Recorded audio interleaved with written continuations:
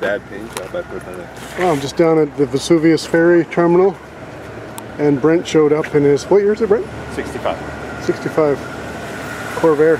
So what does it have, the six cylinder? Yep, 110.6. Wow, and it's a, is it a five speed or a four speed? Four speed. Oh, and where's the motor going? In the back. What happened to the motor? Jonah, where's the mo- where's the motor? Okay.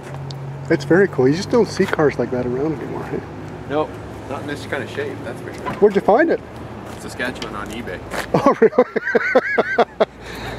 Saskatchewan. eBay. Yeah. when did you buy it? 1200 bucks to buy it, $400 to get it shipped out here. Wow, that's pretty cool. That's pretty reasonable for the shipping, though, hey?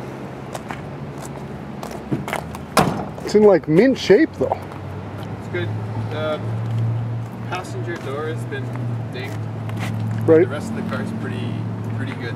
Oh, See, uh, it's all metal, but the door has got a bunch of putty in it. so did you listen to the radio show again? It, I listened the other night. I only got one one copy of it. Only one first section. The second section was all sort of orchestral music. Really? I'll have to check it out. Oh, okay. I'll have to But I, I put them both on there, so somebody's listening to the second one.